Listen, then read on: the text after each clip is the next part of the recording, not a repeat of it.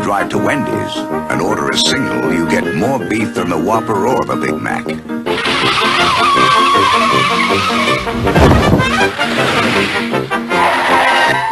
Where's the... At Wendy's, you never have to ask, where's the beef? Where's the beef? Isn't that a classic commercial, friends? Don't you feel old watching that commercial?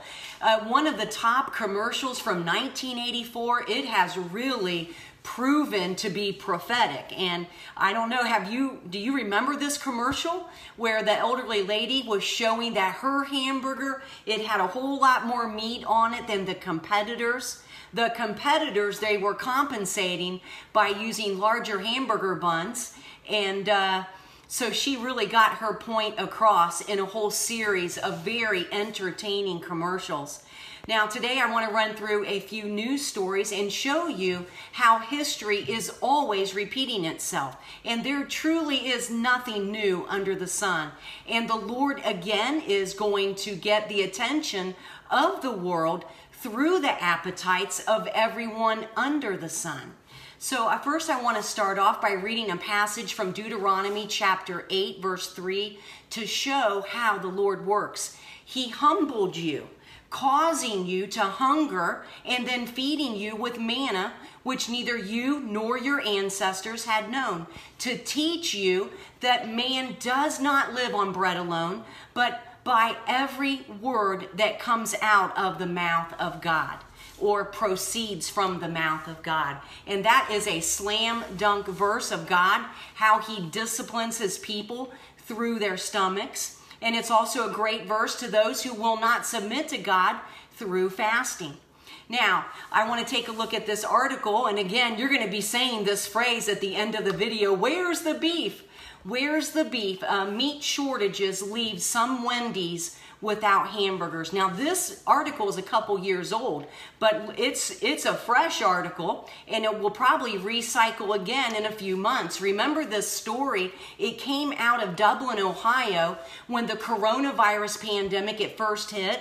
Some supply chains could not satisfy the demands for meat and there were production issues and some meat processing plants had to temporarily close because hundreds of workers tested positive for the coronavirus. An estimated 4,900 workers tested positive, and there were about 20 deaths. And those numbers are not official numbers, those are only estimates. So, friends, look for more of these types of headlines in the days to come because the globalists are just getting started on collapsing our food supply so that they can start their apocalyptic hunger games. They are working in secret and they mock those of us who are connecting the dots and following the prompting of the Holy Spirit and more food disparity is coming in the days ahead. And they will collapse everything through weather events, through fires, through manipulation of the markets and, and uh, natural resources, and through war. So you can follow it in the headlines just like we do here you can you can see in the headlines oh there's a there's a forest fire here. It always happens this time of the year because the temperatures are hot. And there's a forest fire here and there's a forest fire here. And basically the entire community goes into economic collapse. There's sabotage. And then there's mocking of those people who don't believe the agenda. And they do that with these very super aggressive fact, uh, fact checking campaigns so I'm so very glad that my Heavenly Father is on the throne.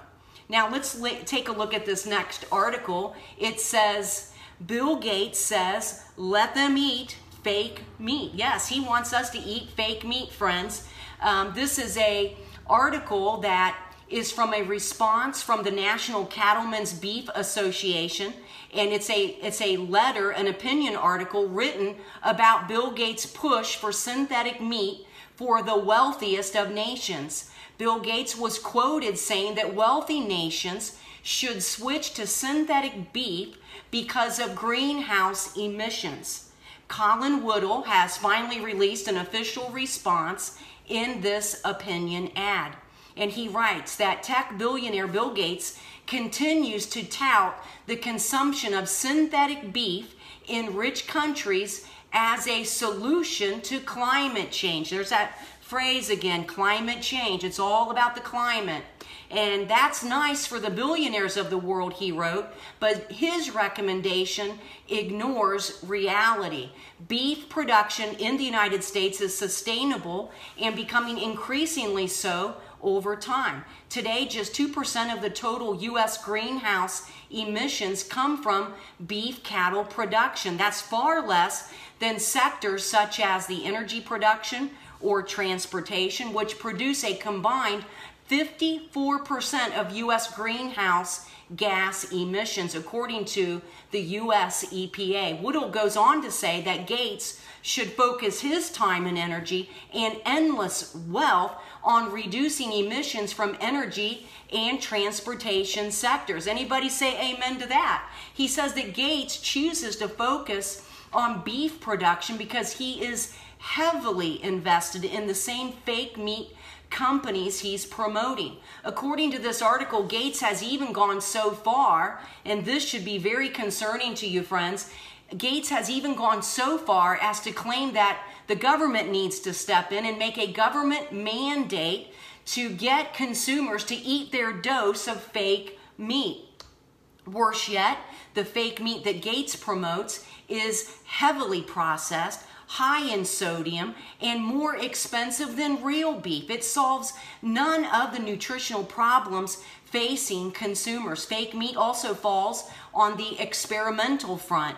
Recent studies show the true impact of fake meat production is far greater than Gates might be willing to admit.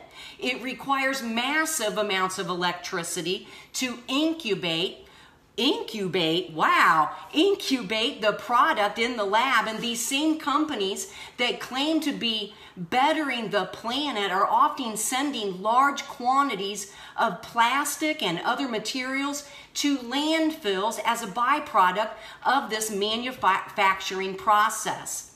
I'm still stuck on uh, incubator, aren't you?